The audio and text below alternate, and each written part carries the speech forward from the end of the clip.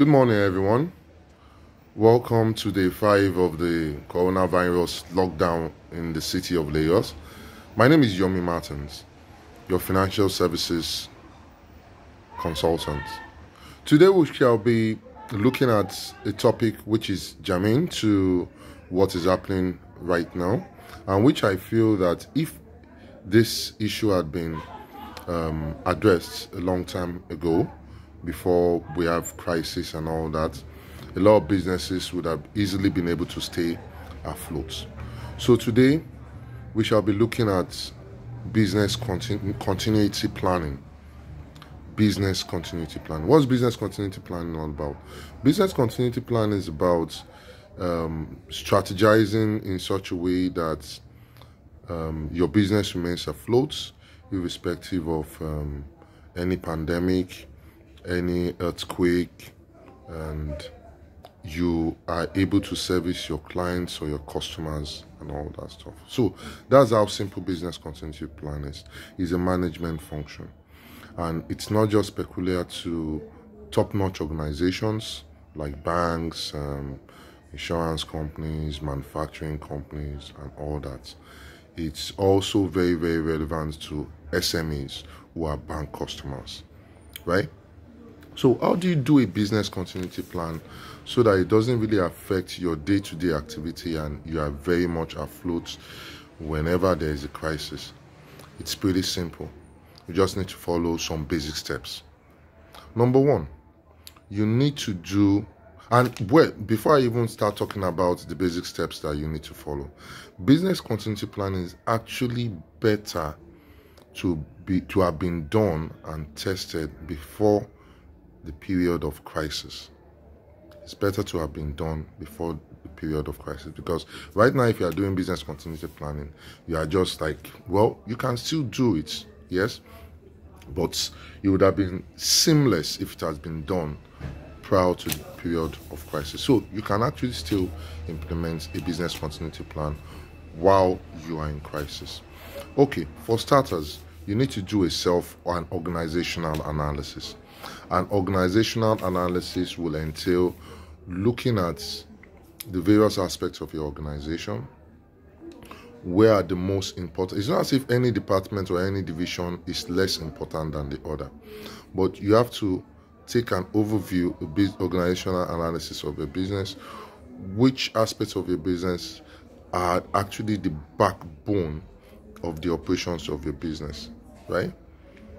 Number two, you need to look at the risk analysis of each of those aspects of your business and your touch points, which are, um, are areas in your business you can easily manage the risk when um, there is a crisis point and which ones you can easily manage the risk. Let me let me come up with um, um, some basic examples.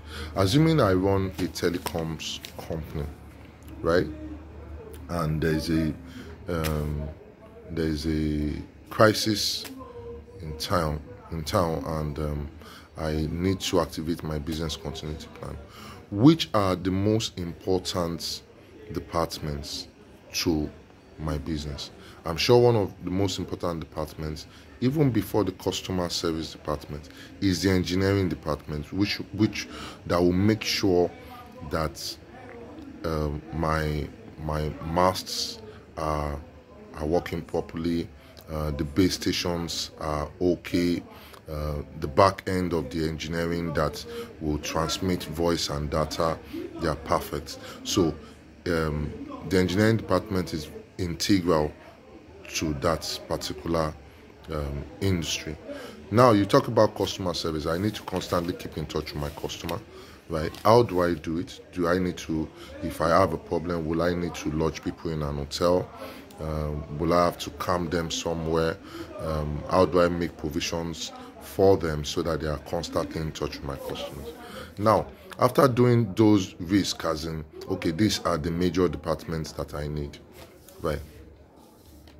You need to make people or your staff aware that this business continuity plan is available and these are the strategies. You might need to have captains, not you might need, you will need to have captains in each of those relevant departments you want to do a business continuity plan. Um, that are integral to your business continuity plan, while others can work at home and everything. What would you have done if there is a shutdown and you still want to be in operation, you still want to be um, relevant, and you still want to make money. So people have to be aware, and you have to have champions or uh, champions for each of those departments who will drive the plan that you have set for those departments. Next, you need to test a plan. You don't need to wait for um, crisis to come up before you test a plan, right? We need to dedicate a day. It's just like doing a, a, a fire drill, right? You need to do a fire drill more or less for your business continuity planning. You need to have a scenario in which, okay, everything shuts down. What will we do? Who are the people we will call in our line of command, ahead of our line of command, and all that stuff, right? You need to look at the chain of commands, who to call, where to operate from, how to do. You need to test that plan and everything. Now, if this were done prior to now, most of the SMEs, even SMEs as as simple as um, um, the guys that are just um, um, um, sewing and all that, if they can't go to their shop or their their factory to sew clothes and everything, if there is a business continuity plan, they would have been able to say, okay, fine, I would probably sew from home, right? I'll be able to activate my my contacts with my customers because I would have already built up a customer directory in which I will be able to call my customer. I'm telling you, this period of crisis is actually the period we should actually be in touch the most with our customers, right? This is the period to be in touch the most with our customers. So, the same thing with um, assuming I'm selling fruits, right? And I can't um, sell fruit from the location I normally sell fruits from right? Would I have been able to devise a method in which, okay, dispatch riders actually take the fruits to my customers? Thinking out of the box to ensure that you are still in operations, right, in any period of crisis is the core of business continuity planning. I'll leave you with that today, right? Remain blessed, um, keep safe. All this will be over pretty soon.